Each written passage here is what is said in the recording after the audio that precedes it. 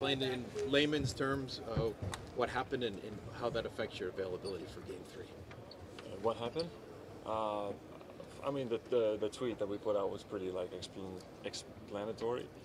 Uh, it's kind of a random, random situation, yeah, and I felt something, and and uh, now I have to deal with it. Um, so, as as we said, yeah, it's it's going to be day to day, and uh, and uh, see how see how I am tomorrow, and obviously I'm going to do everything I can to to be out there tomorrow, and uh, we'll see. Are you optimistic?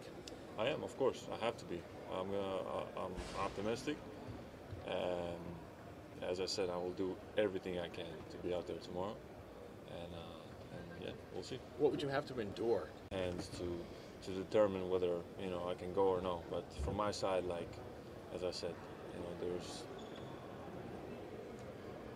nothing's gonna stop me unless you know I, I'm uh, I'm told not to or not allowed to play. So that's the only reason I will not be out there. But just a yeah tough moment right now, you know. But um, feeling pretty good. Feeling pretty good.